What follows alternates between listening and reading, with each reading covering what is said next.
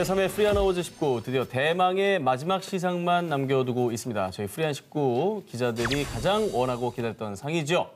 장 기자님이 발표해 주시기 바랍니다. 아, 제가 또 이 상을 드리게 될 줄이야. 네. 2020년 한 해 동안 최다 1위 특종을 취재한 기자에게 수여하는 2020 올해 기자상. 먼저 후보부터 만나보시죠.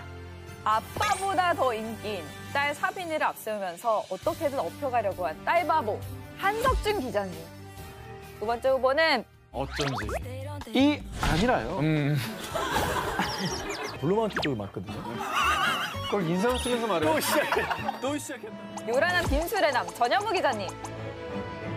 그리고 마지막 후보는 가장 유력한 후보죠. 난 결과로만 말한다.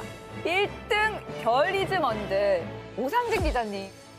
그래서 올해 기자상 주인공은 총 45개 1등 기자별 가운데 무려 18개 별을 획득한 올해 기자상 주인공은 총 45개 1등 기자별 가운데 무려 18개 별을 획득한 오상진 기자가 선정됐습니다. 축하합니다.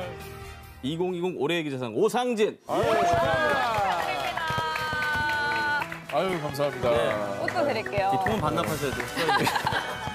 네, 이 상은 뭐 한 해 동안 저희 프리한 식구를 사랑해주신 시청자 여러분 덕분이 아닌가라는 생각이 들고 내년 더 좋은 소식, 아름다운 소식도 전해드릴 수 있도록 열심히 노력하겠습니다. 고맙습니다. 축하해요.